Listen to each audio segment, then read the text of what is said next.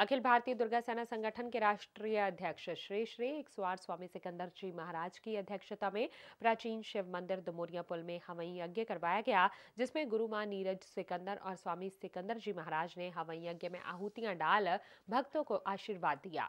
इस अवसर पर विशाल शर्मा, वैभव शर्मा, सावन अरोड़ा, सुनील मल्होत्रा सहित असंख्य माँ भक्त मौजूद थे।